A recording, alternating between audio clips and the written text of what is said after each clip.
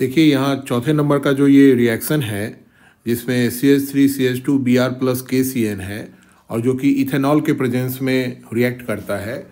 Basically इस reaction में एक चीज़ ध्यान देने की बात है कि ये जो इथेनॉल है, ये इथेनॉल हमारा एक्वस है। मतलब थोड़ा इसमें वाटरी सॉल्यूशंस भी मिला हुआ है। ठीक है? तो आप देखेंगे एक्वस सॉल्यूशन के अंदर में इथेनॉल इससे रिएक्ट करता है। और के जो है, ये अगर रिएक्शन में फर्दर टूट कर, आप देखेंगे कि यहाँ पर के प्लस और सी एन माइनस में कन्वर्ट हो जाता है। ये जो सी एन माइनस है that behave like an nucleophile okay तो ये न्यूक्लियोफाइल इस पर फिर फर्दर अटैक कर देता है और अटैक करने के बाद एक सिंपली बी आर को रिप्लेस करते हुए, यहाँ पर जो हमारे पास प्रोडक्ट बनाएगा, वो यहाँ पर आ जाएगा C S three C S two और सी uh, एन ये जो प्रोडक्ट है इसको हम लोग जो है अब जान ही रहे हैं। ये कार्बन भी सी एन का कार्बन भी काउंटिंग uh, में कंसीडर किया जाएगा।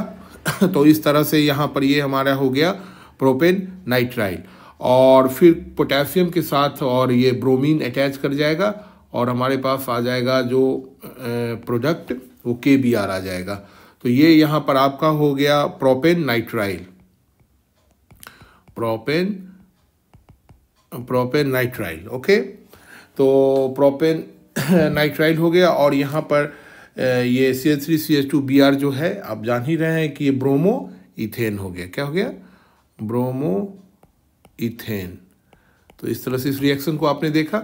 अब देखिए, दूसरा हमारे पास है कि C H C six H five O N A ये क्या हुआ भाई? तो आप ये देखिएगा कि ये हो गया सोडियम फेनॉक्साइड। एक प्रकार से ये फिनॉल का फिनॉल का जो रिएक्शन जब हम लोग एन से कराते हैं तो फ़र्स्ट स्टेज में ये फेनॉक्साइड ही बनता है। तो इसको हम लोग बोलते हैं सो सोडियम सोडियम फेनॉक्साइड। ये जो सोडियम फेनॉक्साइड हमारे पास आया और उसका रिएक्शन हम लोग करा रहे हैं आपको इथाइल क्लोराइड से। किससे करा रहे हैं? ये इथाइल इथाइल क्लोराइड से रिएक्शन करवा रहे हैं। तो बेसिकली इस, ये जो रिएक्शन है, इसमें आप देखेंगे कि फिनेटॉल करके कंपोनेंट्स बनता है, जिसमें सोडियम क्लोरीन के साथ रिएक्ट करके हट जाता है है ना? और हट के ये एन बना देता है। अगर आप ये देखें, ये सोडियम और ये यहाँ का क्लोरीन दोनों हटके सोडियम क्लोराइड बना देगा। और तो और कंपोनेंट्स क्या हमारे पास बचेगा? ये देखिए सी सिक्स एच फाइव और ये ओ तो रह ही जाएगा। और साथ में इधर से जो मिथाइल वाला कंपाउंड इथाइल वाला कंपाउंड है सी टू एच फाइव ये यहाँ जुड़ जाएगा। और ये जो हमारे पास कंपोनेंट बन के आएगा, वो फिनिटॉल इसकी स्पेलिंग इस तरह से है P H E N E T O L phenetole करके कंपोनेंट्स बनकर आता है और एन ए सी एल जो है फाइनली यहाँ पर निकल जाता है। तो इस तरह से आपने देखा कि एन ए सी एल निकल गया। इफ़ रिएक्शंस को हम लोग विलियमसन सिंथेसिस भी बोलते हैं। एक तरफ़ से देखा जाए तो इसके में अगर दोनों तरफ़ से लगा हुआ है अल्काइल ग्रुप इधर से भी आर ग्रुप लगा हुआ है, इधर से भी आर ग्रुप लगा हुआ है तो कहीं ना कहीं ये कीटोनिक बिहेवियर को शो करेगा। तो यहाँ पर देखिए इस रिएक्शंस का नाम है विलियमसन सिंथेसिस।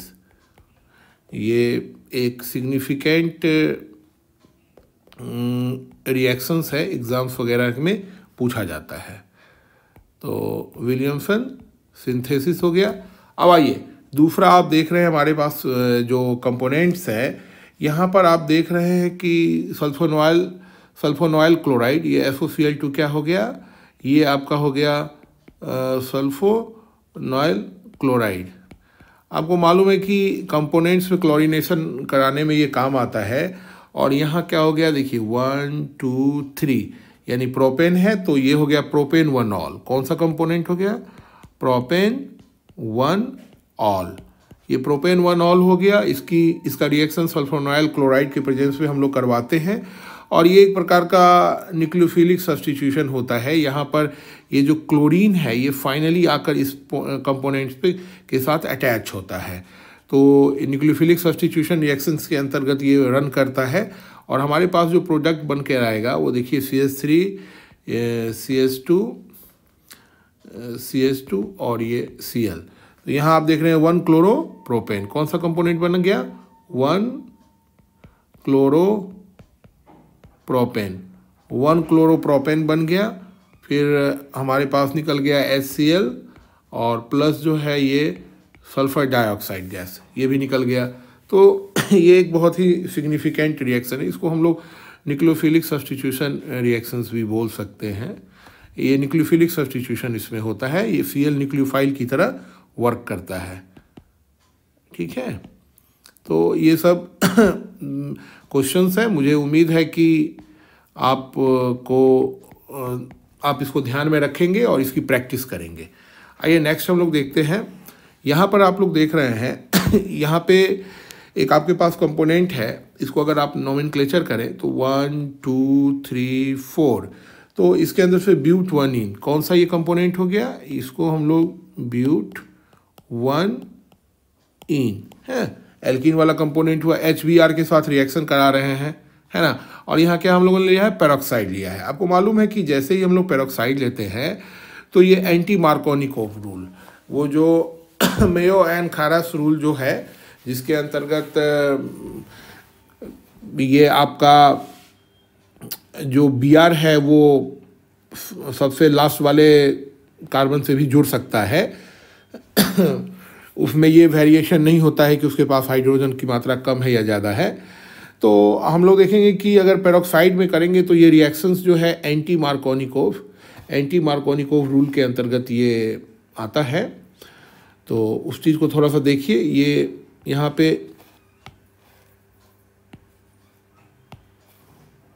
कौन सा हुआ? ये देखिए एंटी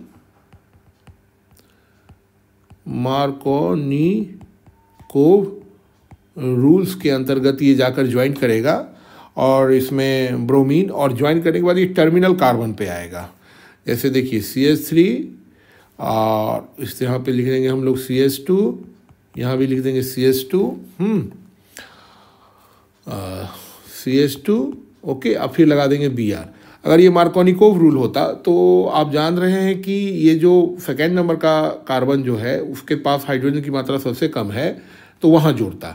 मार्कोनिकोव रूल में, चूँकि ये एंटी मार्कोनिकोव रूल है, इसलिए वहाँ पे इस तरह करेंगे। अभी देख हैं हमारा नेक्स्ट क्वेश्चन वही मार्कोनिकोव रूल से ही रिलेटेड है, जो मैंने आपको अभी कहा, बस उसी चीज़ से ही रिलेटेड है, इसको ध्यान से देखा जाए। ये देखिए, यहाँ एच जब जा रहा है तो किस तरह से अटैच करेगा? तो ये देखिए, मार्कोनिकोव रूल के अंतर्गत ये अटैच करेगा। मार्कोनी कोव रूल के रूल्स के अंतर्गत ये अटैच करेगा, और वो रूल कहता है कि ये जो हमारा ब्रोमीन जो न्यूक्लियोफाइल है, ये उस कार्बन के साथ अटैच करेगा जो सबसे कम मात्रा में हाइड्रोजन को पॉजिटिव करता है। तो उस कंडीशंस में आप देखेंगे कि आपके पास जो कंपोनेंट्स है, जैसे ये जो कंपोनेंट्स है, इसका नाम अगर आप देंगे तो two methyl but two ene है है ना? Two methyl but two ene देखिए ऑर्गेनिक रिएक्शंस में नॉमिन बहुत वाइटल है, क्योंकि जब तक आप नाम नहीं जानेंगे तो फिर फर्दर रिएक्शंस नहीं कर पाएँगे। या उसके कॉन्सेप्ट को डेवलप नहीं कर पाएँगे। तो इसीलिए साथ साथ मैं नॉमिन क्लेचर भी बताते जा रहा हूँ ताकि आपको ये चीज़ें समझ में आए कि इसको हम लोग बोलते क्या है। और ये मार्कोनिकोव रूल के अंतर्गत एडिशन हो रहा है। तो यहाँ आप देखेंगे कि इस कंपोनेंट्स को अगर हम स्ट्रक्चरल फॉर्म में लिखें, ठीक है? तो ये देखिए, यहाँ पे हो गया सी एस थ्री दूसरा आप देखेंगे ये सी एस टू और फिर उस तरह से हम लोग यहाँ सी यहाँ देखिए, एक तरफ़ तो यहाँ सी एस थ्री जुड़ा हुआ है ऑलरेडी और दूसरी तरफ़ यहाँ भी सी एच थ्री जुड़ जाता है। तो इस कार्बन के पास सबसे कम नंबर के हाइड्रोजन है तो इसलिए आकर यहाँ पर ब्रोमीन जो है अटैच हो जाता है। तो इसका नाम हो गया two bromo two methyl butane two bromo okay ये टू मिथाइल ब्यूटेन ठीक है बच्चों? तो मुझे उम्मीद है कि आपको ये सारे रिएक्शन समझ में आए होंगे। ये हेलो एल्किन्स और हेलो एरिन्स का एक बहुत ही सिग्निफिकेंट कन्वर्जन और रिएक्शंस हैं। ये जनरली एग्ज़ाम्स वगैरह में पूछे जाते हैं। इसका क्या है कि आप बार बार इसको प्रैक्टिस कीजिए कॉपी ले लीजिए रिएक्शंस को देखिए, किस तरह से बताया जा रहा है और उसको फिर से कॉपी पे बार बार उतार कर लिखिए तो आपको बिल्कुल समझ में आएगा। ठीक है? धन्यवाद।